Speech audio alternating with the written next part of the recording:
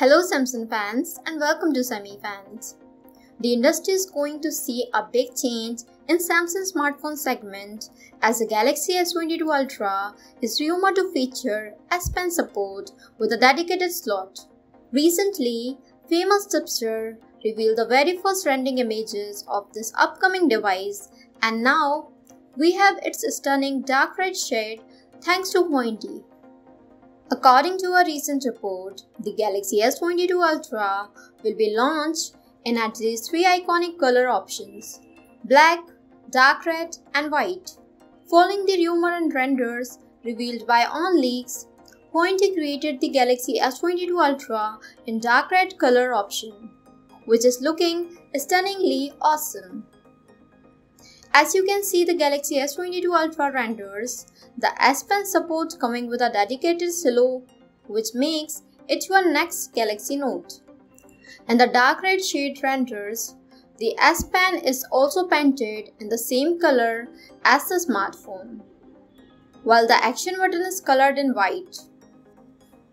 On the rear, the Galaxy S22 Ultra comes with quad camera sensor, LED flash and laser autofocus sensor are adjusted inside a P-shaped module. Well, the render suggests that the under-display camera tag still needs improvement as the Galaxy S22 series will have a punch hole screen.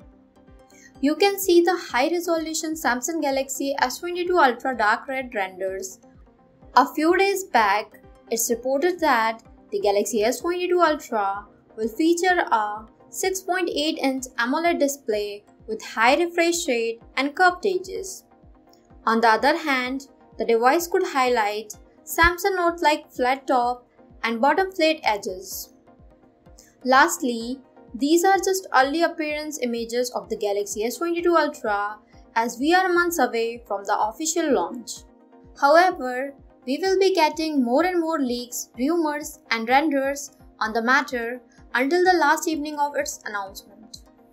So this is our today's video. Thanks for watching and if you like this video then hit the like button, share your thought in the comment section and don't forget to share and subscribe.